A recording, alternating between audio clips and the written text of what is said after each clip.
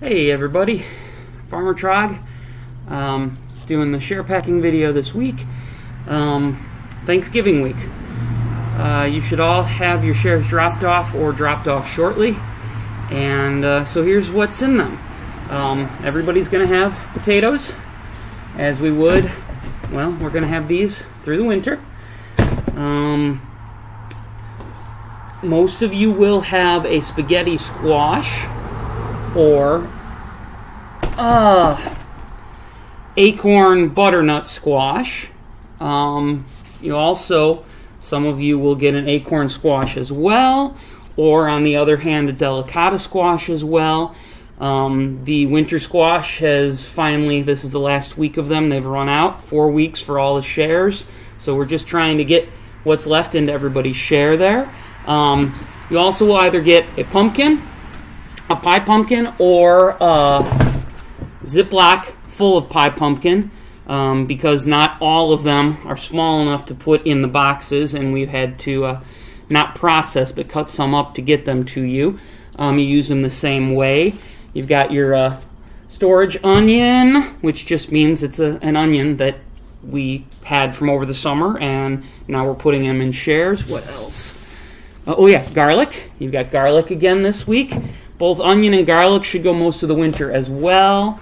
Um, you've got radishes. Let's skip the radishes for now. We've got turnips again, purple top turnips again.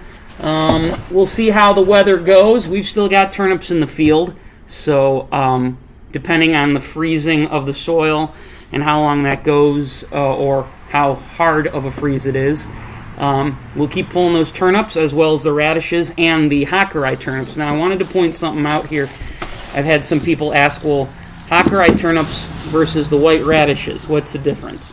Well, first, if you look at the leaves, the radishes are kind of rounded, whereas the Hakurei turnip leaves are kind of serrated like that. The other thing is the shape. Radishes are rounded, whereas a Hakurei is more of a heart shape, I would say, or a turnip shape. Um, and the Hakurei turnips are always white. There's just a few white radishes, but that's the difference. Also, the taste is uh, um, sweeter on the Hakureis. I know a couple of you were at the market and uh, we had you taste them there. They're best fresh, but you can saute or uh, roast them as well. So everybody's got some Hakurei turnips, which are the sweet turnips. Um, we got a bunch of radishes as well.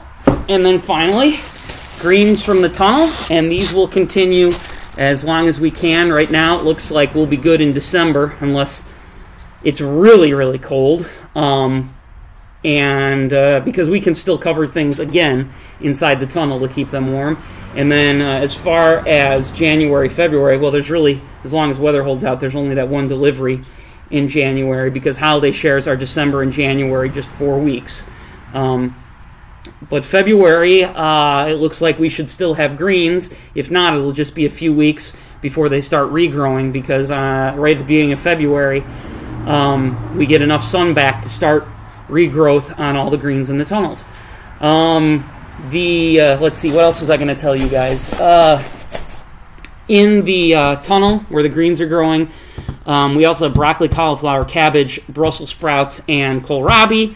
Looks like the kohlrabi might be ready over the next few weeks. Uh, broccoli and cauliflower are going to be sitting through December and January, probably starting to fruit in February, maybe March, depends on the weather and how much actual sunlight we get without clouds.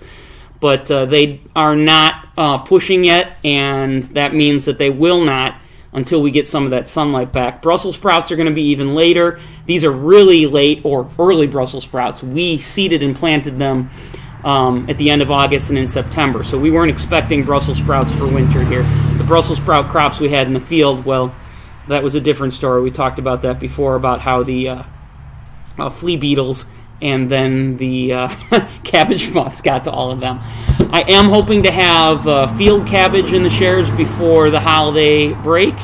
Um, also, uh, celery. We've got that in the field still.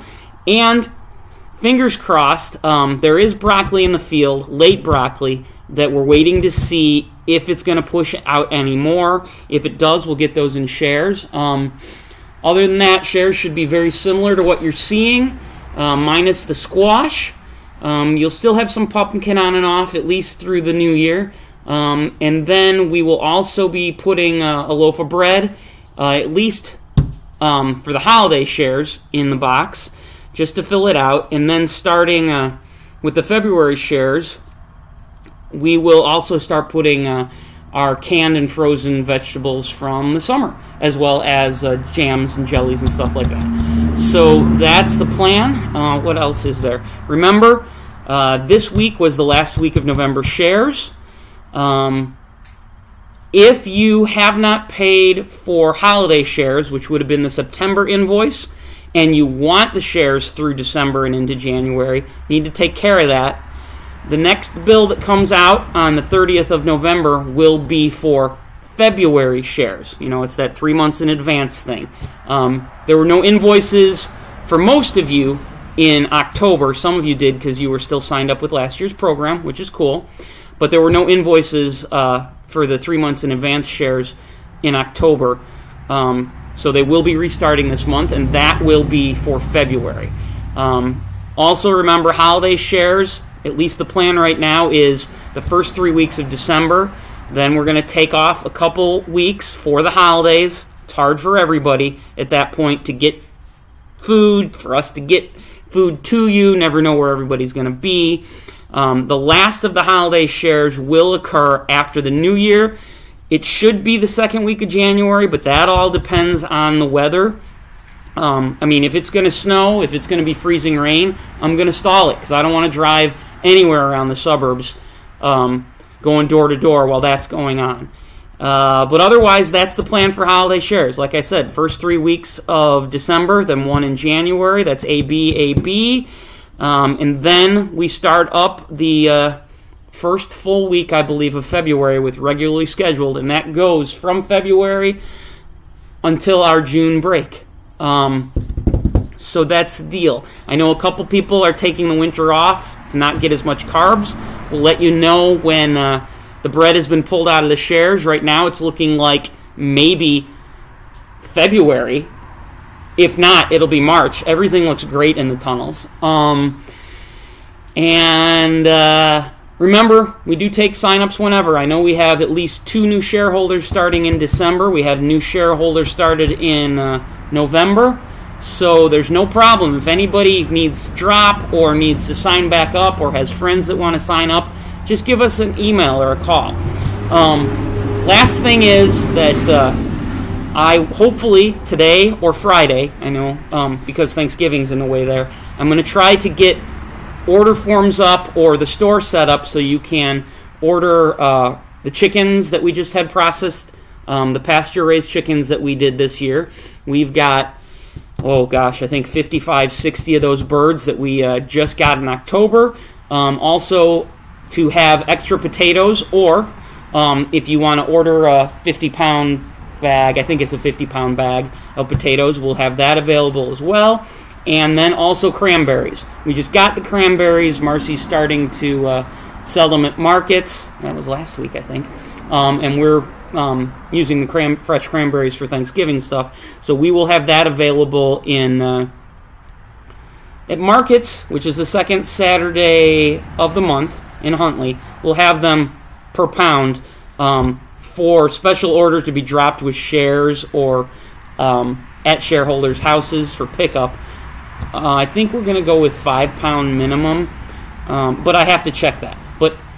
We'll get this all together hopefully in the next few days, and then uh, the first two weeks of December we can start getting that to you. Um, potatoes and chickens can be ordered whenever. Uh, the chickens are ranging from about three and a half pounds to I think we actually hit a six and a half pounder. Um, so that'll just be about how many pounds you want, and we'll try to find a chicken. Uh, we're selling the chickens for four dollars a pound. They are not organic fed. Um, they are all out on pasture, eating the clover, the bugs, the grass. We move them every day, so they all have fresh stuff. And then they do get grain. Um, it's just a standard grain mix that we get at the farm and fleet for right now, and uh, that's what we have. Um, we haven't gone with the organic feed yet because it's a lot more money and we want to see what the market's going to be for this stuff. I also don't want to price people out of getting chick pasture raised chickens just because it's organic feed. So I think next year we may have both types and uh, feed one section of birds the regular feed and one the organic so that if you want the organic fed pasture chickens we'll have those available hopefully next year. Um, and i know some people have asked about pork.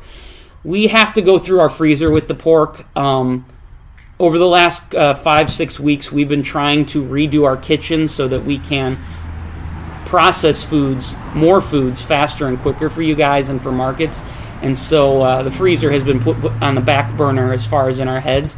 But we'll let you know about that. Um, we haven't been able to process any new pork because of the COVID stuff. All of the slaughterhouses and processors are backed up. We don't even couldn't even get an appointment when we scheduled in the spring until spring 2020. So that's why there's no more pork there. Um, we will have, I think, two pigs going in in the spring. Um, I think that's all. I know this was long. Happy Thanksgiving. Stay safe and uh, see everybody soon, hopefully. All right. Bye.